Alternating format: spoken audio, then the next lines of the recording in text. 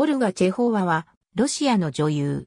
ロシア帝国、アレクサンドロポリ生まれ。父親は、ドイツ系の鉄道技師。父方のおばはロシアを代表する、劇作家、アントン・チェーホフ夫人で女優のオリガ・クニッペルである。エレオノーラ・ドゥーゼの舞台を見て女優になる決意をし、モスクワ芸術座に参加。そこで出会った俳優ミハイル・チェーホフと1914年に結婚、2年後に娘を出産。しかし1917年に夫と離婚し、同年に起こった革命を受けて、ロシアを出国、ウィーンを経て1920年にベルリンに移住した。